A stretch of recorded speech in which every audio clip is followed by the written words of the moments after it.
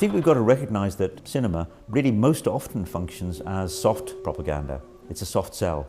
The Americans were the first to realize that, even before the Soviets. Back in 1917, 1918, Americans were realizing that American cinema, just ordinary American cinema, was all good propaganda for America. In fact, there was an official committee that said everywhere people are watching American films, they're learning American values, they're coming to you from the screen without appearing to be trying to influence you. It's the American way of life. And I guess American cinema has always benefited from that sense that it's not seen as propagandist, mostly. It's just seen as telling stories. And that, of course, is a form of insidious, pervasive propaganda. The proletariat will use its political supremacy to centralize all instruments of production in the hands of the state. Well, I think the most striking difference in attitude after the war is that while American cinema gets really quite mobilized in terms of Cold War propaganda, this on the whole does not happen in the Soviet Union, the other player in the game. Here's the news bulletin from the nation's capital. Washington officially this morning denies rumors of enemy planes over northern Alaska. Meanwhile, there's been no lessening of international tension, and informed sources refuse to discount the possibility of all out war. Shut that thing off.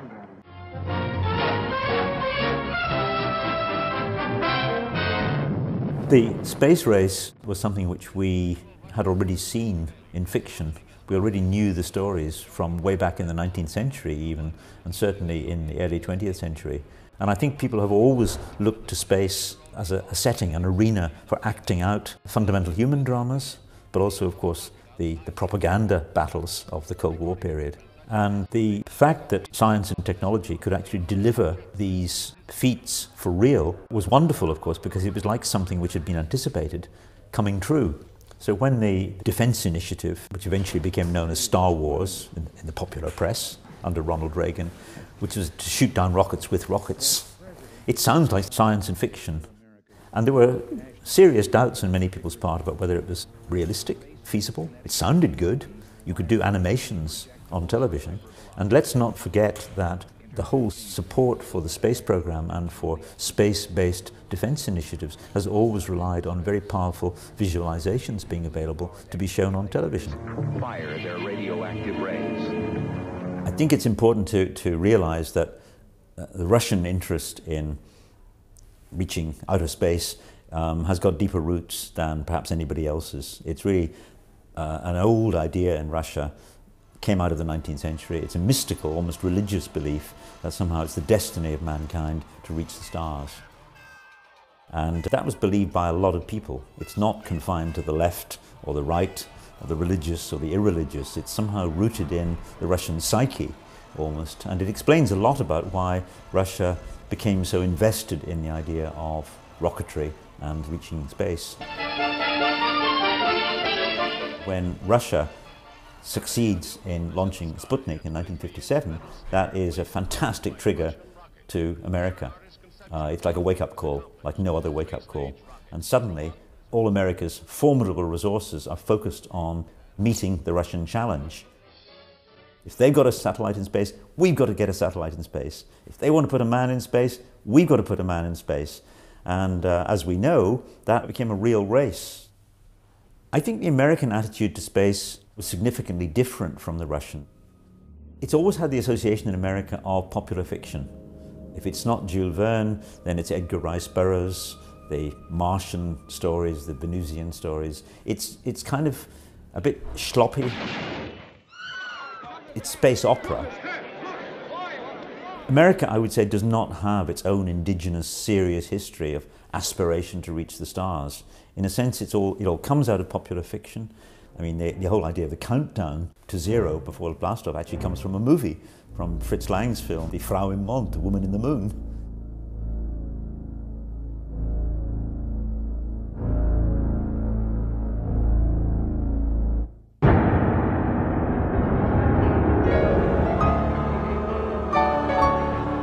Then it takes on very much a military dimension and the military potential of having a vantage point in space becomes a dominant theme in the post-war world. Get the Pentagon. Class A emergency. The Joint Chiefs of Staffs are expecting the call. The rocket has just been entered by a robot. Space exploration in Soviet cinema is remarkably idealistic. I mean, there is one film known usually in English as Battle Beyond the Stars, a 1959 film, which does very much um, posit a space race. It's basically the Russians versus the Americans. And that film was actually bought by an American company, recut with most of its propaganda content removed by a very young Francis Coppola and put out as a, you know, a space movie. That does show a, a competition, a race. Who can get there first, a race to Mars? But I would say that that's very much in the spirit of the Russian space race, not being seen so much as competition, but being seen as the aspiration towards a higher stage of existence. It's something which is very idealistic. However much it might have been supported for military propagandist reasons, its roots lie in an almost mystical Russian belief that reaching the stars is a good thing in its own right. American cinema is very much focused on competition with Russia. Anything they can do, we can do better. At the bottom of that lies the whole question of nuclear capability. I mean, the bigger, better rockets you've got, the more able you are to threaten the other side. When worlds collide. Written in the stars is a message of doom for this, our world. And now in the most shattering experience the screen has ever given you, Paramount tells what could happen within your lifetime when worlds collide. An astronomer checks and double checks his horrifying discovery. A distant star racing through space toward an inevitable collision with this planet. The United Nations meet in emergency session. I think there's a very strong theme in American post-war cinema of locating the threat in, literally, invasions from outer space. Just like any Saturday morning. An American popular fiction of the post-war period is full of fear of contamination and the belief that somehow this, this threat that you can't quite locate is all around us, but it's also coming down from the skies. And it's, it's very powerful, and it's been very closely linked with the fear of communism, the idea that communism is an alien invasion which will somehow take over our communities without us knowing it.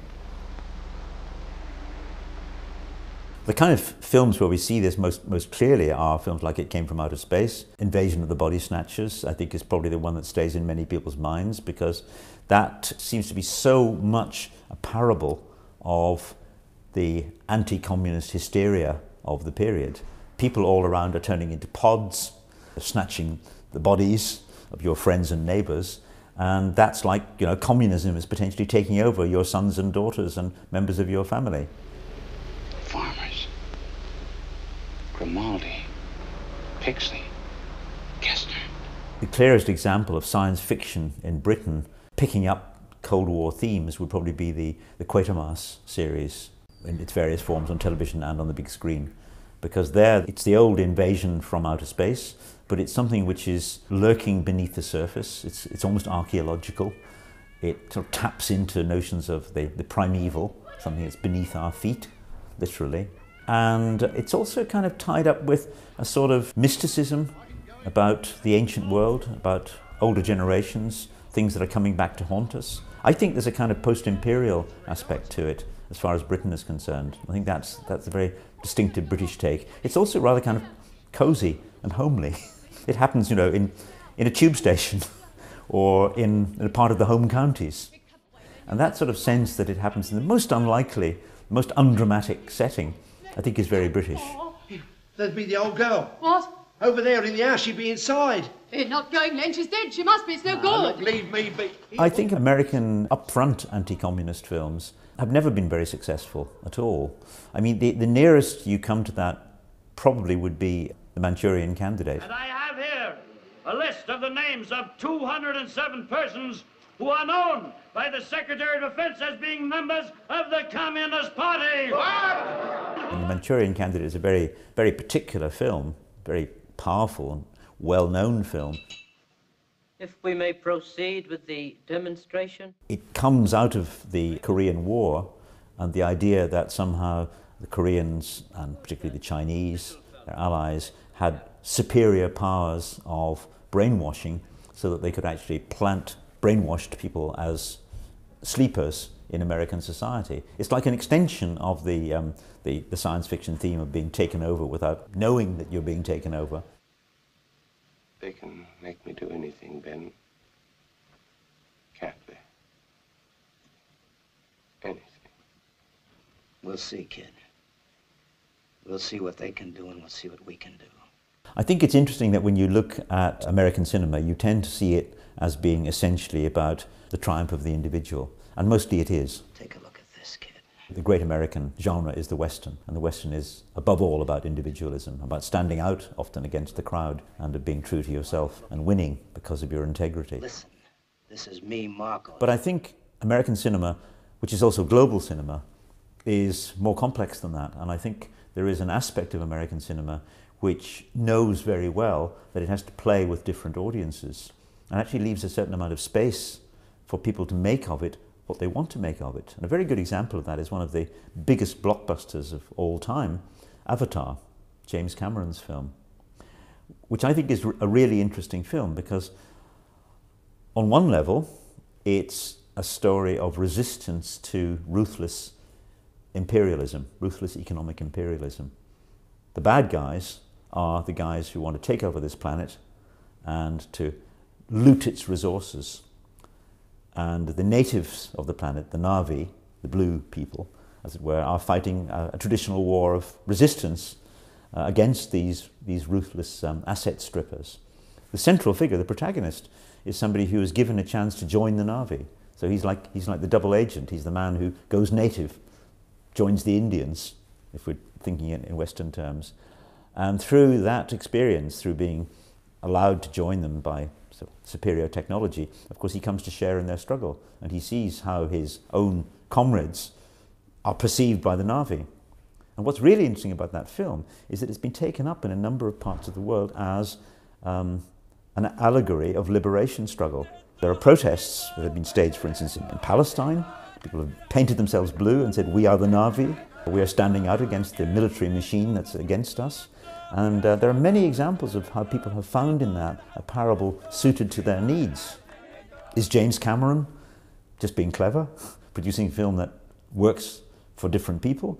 I think he's being clever, but he's also doing something which American cinema kind of has always known it needs to do, which is to give spaces for people to produce different interpretations. Where are you? What do you look like? What am I supposed to be looking for? I know you're out there, hiding in the desert. Maybe I'm looking right at you and don't even see you. Come on out. What, John?